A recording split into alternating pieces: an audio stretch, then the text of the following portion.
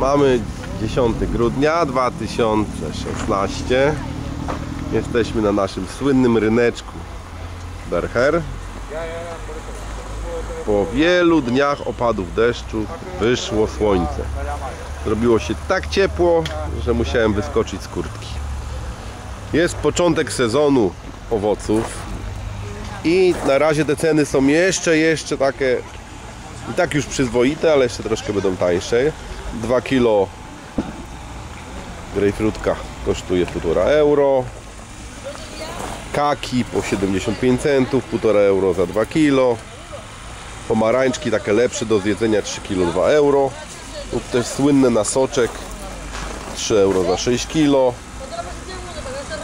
Mandarynka, klemendynka już ta najlepsza 3 kilo 2 euro. Pomidorki już potaniały, są po euro. I czerwone, i zielone, słynne sałatkowe.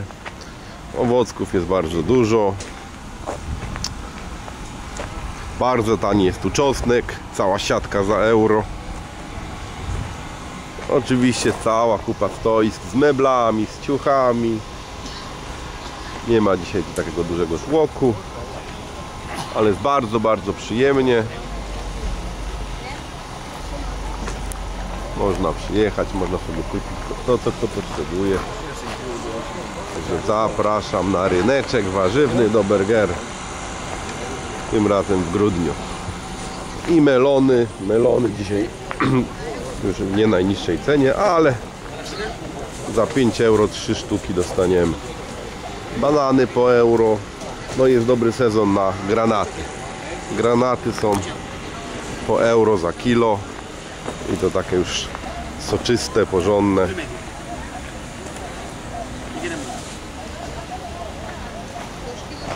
I tak to wygląda sobie w sobotę.